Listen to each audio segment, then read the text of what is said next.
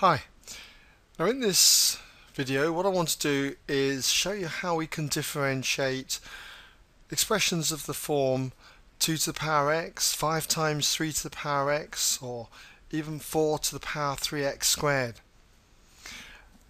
And to do this we need to know a basic formula so that we can cut the methods down.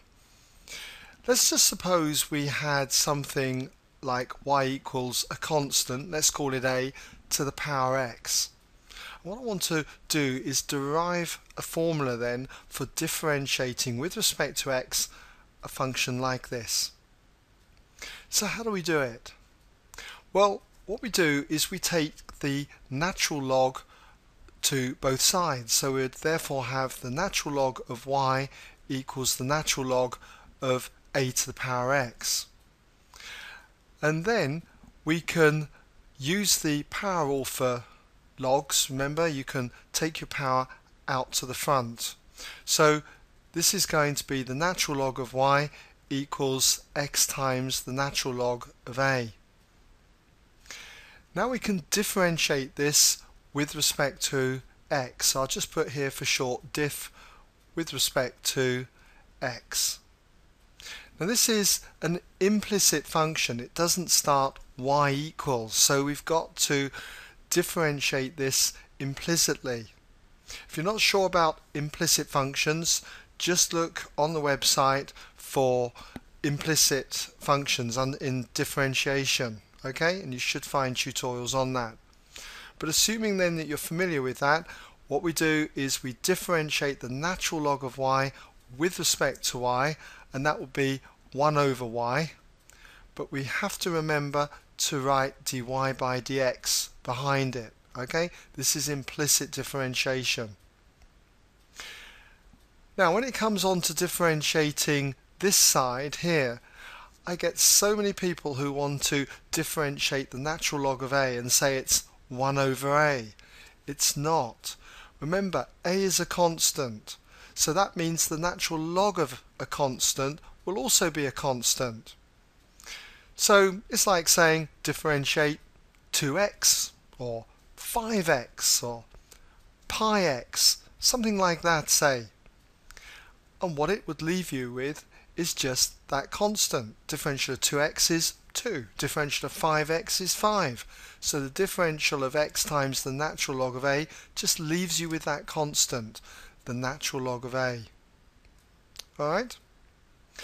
So dy by dx is going to equal y times the natural log of a if we multiply both sides by the y. But what is y? Well it's a to the x. So therefore we have the differential with respect to x is equal to a to the power x natural log of a. And this is a result then that you ought to try and remember. Otherwise, if you don't, what's going to happen is that you're going to have to work from first principles when it comes to differentiating these things. Okay? So, let's see. You might like to try these yourself now actually, now that we've got the formula here for differentiating functions like this. Okay, well, if you did have a go at these, let's see how you got on. Well, in this first one, it's very basic. It's exactly the same as this.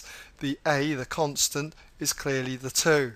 So therefore, what we get through the formula here is that dy by dx is going to be equal to a to the power x natural log of a. So a is the 2, so we just get 2 to the power x natural log of that 2. So very straightforward. Now I picked this example just so that we had a number in front of our a to the power x.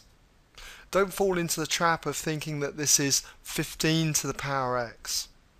It's just going to be, when it comes to differentiating it, 5 times the result of differentiating 3 to the power x. So it's going to be 5 times, or we'll just put a bracket here, 3 to the power x then multiplied by the natural log of 3. And there's nothing we can do really to tidy this up. So I'd leave it like that. For number three, I picked this one because you can see that here I haven't just got something x, okay? I haven't got, haven't got 4 to the power x, but we've got a composite function here, 3x squared. So how do I do this? Well, we've got to use the chain rule. I've got to think of this as 4 to the power t. So, in other words, I've got y equals 4 to the power t, where t equals 3x squared. So using the chain rule, remember that dy by dx is equal to dy by dt times dt by dx. Okay, so if we just border that off there, then when it comes to differentiating this, dy by dt, if y equals 4 to the t, is going to give us, okay, let's just put dy dx there first though, dy dt is going to be 4 to the power t, then multiplied by the natural log of 4. Then I've got to multiply it by dt dx, the differential of t with respect to x, which is going to be 6x. So I just don't want to write 6x there. I want to put all of these things in brackets. I'm going to bracket that off and bracket that off there. Okay? Now I have 4 to the t here. That just needs to be changed.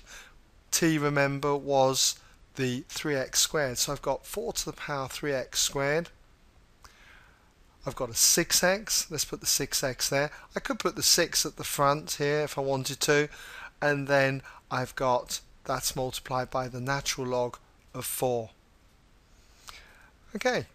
Well, I hope that's given you some idea then how we can differentiate functions like these, okay, through using this particular method.